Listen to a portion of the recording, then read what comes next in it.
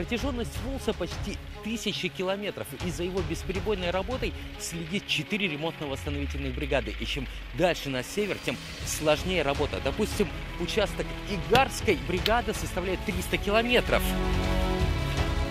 И в основном это непроходимые леса и болота.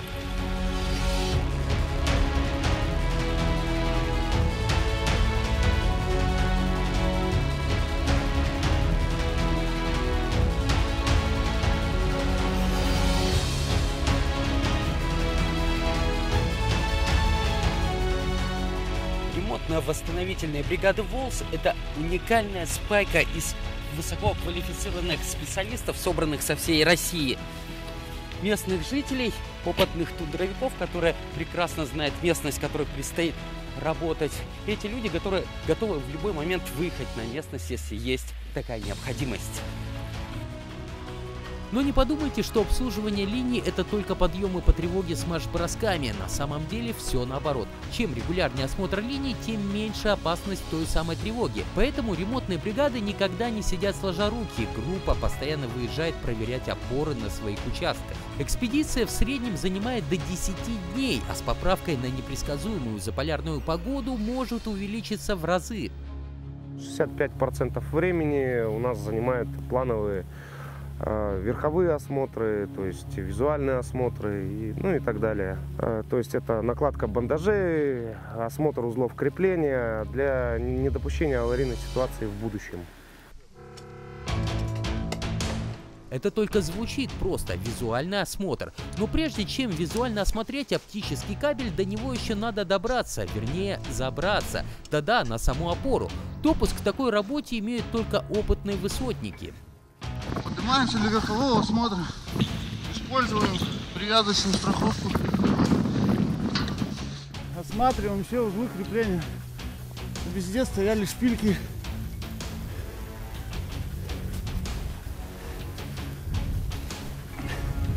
Смотрим расстояние между виброгасителями, не съехали ли. Вообще как часто вот приходится забираться на такие опоры, э, осматривать их? Осматривать? Ну, летом мы делаем верховой осмотр полностью до Снежногорска. А это сколько примерно вот подъемов? Ой, сколько опор? Около 300 опор. 300 подъемов, 300 осмотров, 300 спусков. Ничего себе нагрузочка. Евгений для этой работы проходил специальное обучение, получал все допуски. Есть в ремонтных бригадах и спецы, которых брали, что называется, готовенькими. И не просто брали, переманивали со всех регионов из-за классной квалификации. Персонал подобран у нас практически со всей России. Здесь представлены ну, так скажем, лучшие специалисты, как я считаю, в этой области, то есть в области ВОЛС, в области связи, лучшие инженеры. Кастинг очень э, жесткий был, поэтому коллектив и команда у нас э, обучена на 100% и выполняет все и в любых условиях. Кабельщик-спайщик Игорь Пономарев сам из Санкт-Петербурга, но за годы работы успел объездить всю Сибирь.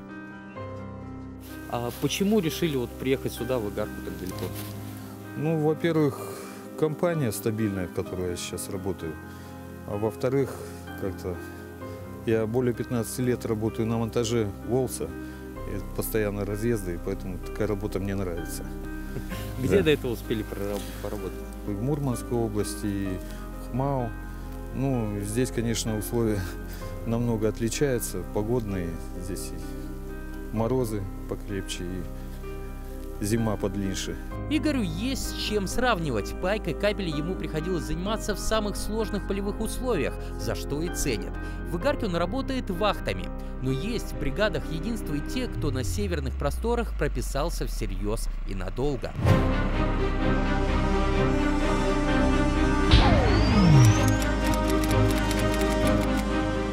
Максим Емельянов в начале два года следил за прокладкой оптоволокна на Норильском участке, как представитель подрядчика. А когда оптическая линия связала Таймыр с материком, Максиму предложили переехать на Норильск на постоянку, ведь он лучше всех знает, как эта линия прокладывалась, ему и обслуживать родной участок проще.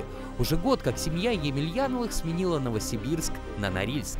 Поначалу э, они пугались сюда ехать, потому что в интернете пишут э, очень много недостоверной, так скажем, информации э, о Норильске, о его климате. Но, в принципе, они переехали сюда, акклиматизировались. Ну, в принципе, все устраивает. Как и его коллега из Игарки, теперь уже норильчанин Максим тоже считается одним из лучших специалистов связи в России. За 10 лет работы успел поучаствовать во многих успешных проектах. В области связи я работаю уже порядка 15 лет. Побывал практически во всех точках России, начиная от э, Москвы, Волгограда, заканчивая Хабаровском, Якутском, ну и все промежуточные города, так скажем, захватил. Приходилось строить э, как магистральные линии, так скажем, в масштабах страны, то есть это большие были объекты, так и строил, ну, производил телефонизацию, так скажем, городов. Работают в ремонтных бригадах не только приглашенные спецы, много тут и местных, особенно водителей. Ведь бесценный опыт езды по нашей тундре со всеми ее особенностями ни в каком институте не получишь. У тех ребят, что за рулем, кстати, чаще прочих вызывает ухмылку интернет-комментарии, почему до такой-то точки так долго ехали, ведь по карте все рядом.